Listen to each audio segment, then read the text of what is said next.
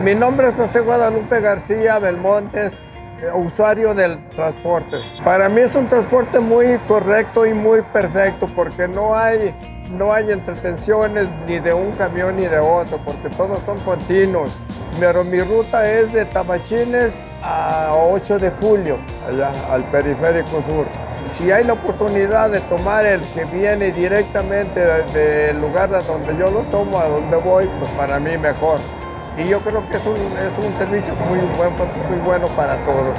Para mí es un transporte muy rápido, muy bueno, de primera línea, porque no habíamos tenido una, una ruta de, de transporte como la que tenemos ahorita.